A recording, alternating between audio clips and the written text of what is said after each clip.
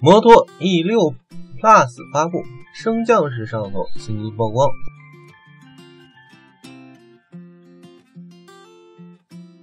iPhone 2019期间，各大厂商的新机频频亮相。除了大家普遍关心的其他厂商，其他品牌也带来了全新产品。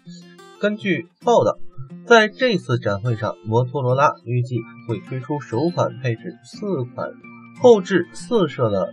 机型摩托罗拉 One Pro，同时从曝光的真机照片来看，摩托罗拉还带了自家升降式摄像头的全面屏手机。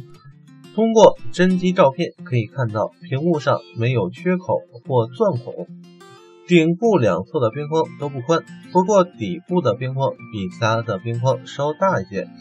由于缺少机身照片，所以无法所以无法判断是否会采用后置。指纹识别方案。